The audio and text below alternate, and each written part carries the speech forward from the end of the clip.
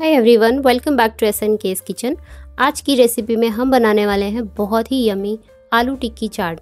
इसका टेस्ट बिल्कुल मार्केट जैसा होने वाला है तो आप लोग वीडियो को ध्यान से देखें।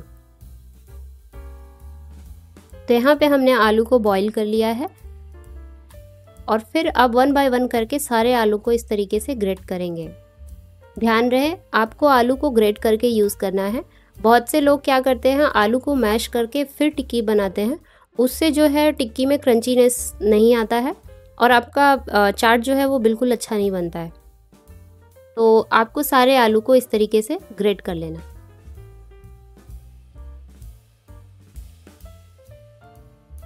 अभी रेनिंग सीज़न चल रहा है तो आप लोग ये रेसिपी ज़रूर बनाएँ। तो ये देखिए, इस तरीके से आपको सारे आलू को ग्रेट कर लेना है।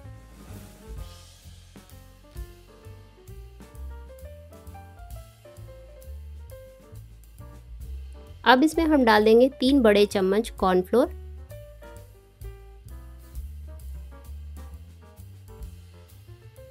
और फिर इसमें हम डालेंगे तीन बड़े चम्मच राइस फ्लोर ये भी आपको इसमें डालना है।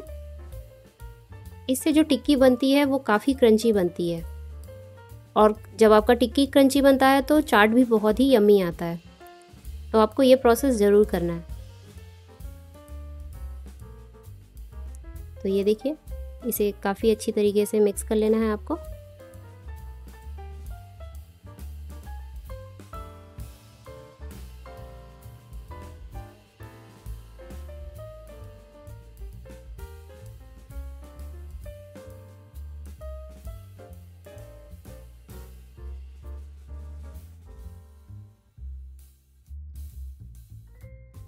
अब इसमें हम एक चम्मच के करीब ऑयल डालेंगे।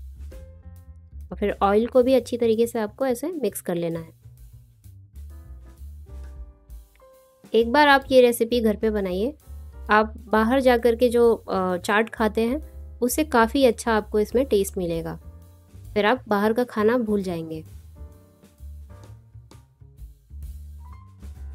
तो ये देखिए, अभी अच्छी तरीके से मिक्स हो गया है। अब हम इसका टिक्की बनाएँगे। तो इस तरीके से आपको थोड़ा सा ले लेना है हाथ में। और फिर इसे रोल करना है। ये देखिए।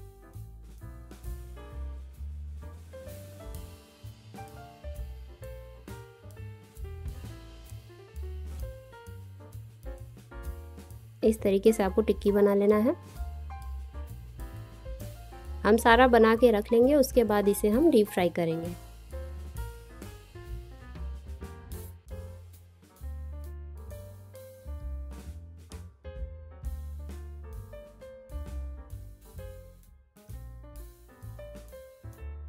अगर आप लोग मेरे चैनल पर नए हैं तो चैनल को सब्सक्राइब कर लें। और रेसिपी अगर पसंद आया करे तो वीडियो को लाइक भी कर दिया करें।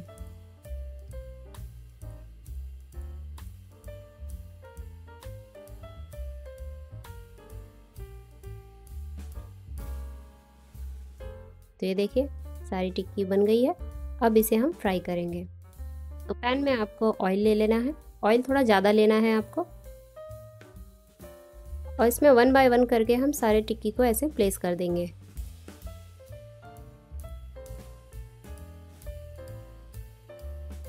और गैस का फ्लेम आपको मीडियम करके इसे पाँच से दस मिनट तक इसे ऐसे फ्राई करना है। अब इसे हम वन बाय वन करके सारे टिक्कीज़ को ऐसे पलट देंगे ताकि ये दोनों साइड से अच्छी तरीके से सिक जाए।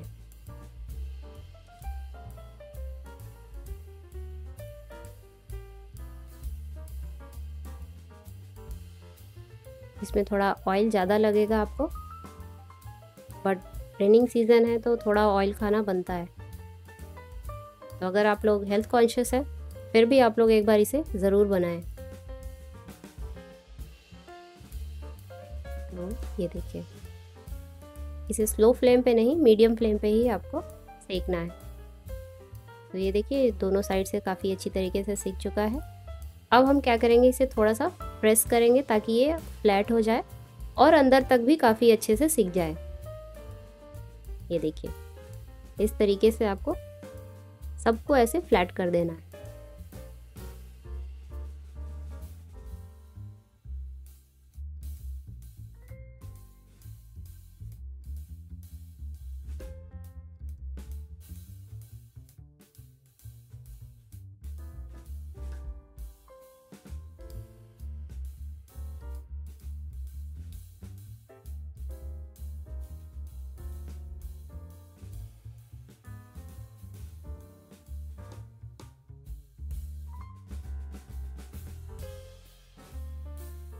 ये देखिए, अभी सारे जो हैं वो फ्लैट हो चुके हैं।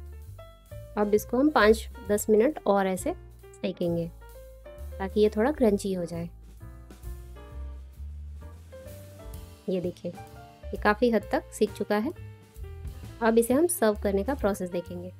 तो आपको दो टिक्की ऐसे रख लेना है और फिर इसमें हम डालेंगे दो से तीन चम्मच दही। ये देखिए, इसको ऐसे चारों तरफ़ से आपको दही स्प्रेड करना है और ये है इमली की मीठी चटनी। इमली का मीठी चटनी कैसे बनाया है हमने, इसका हम अलग से एक रेसिपी बना के अपलोड करेंगे।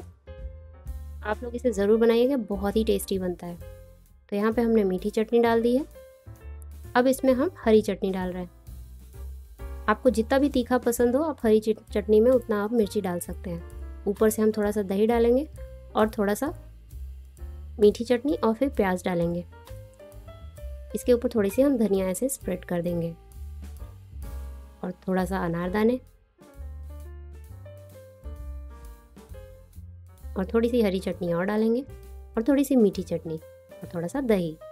तो ये देखिए, आपका यम्मी माउथ वाटरिंग आलू टिक्की चाट बन करके तैयार है। आई होप आपको ये रेसिपी पसंद आई होगी। तो प्लीज़ अपने फ्रेंड्स एंड फैमिलीज़ के साथ ये वीडियो ज़रूर शेयर करें। चैनल पे नए हैं तो सब्सक्राइब भी कर लें। और ये रेसिपी पसंद आई हो तो इसे लाइक भी कर दें.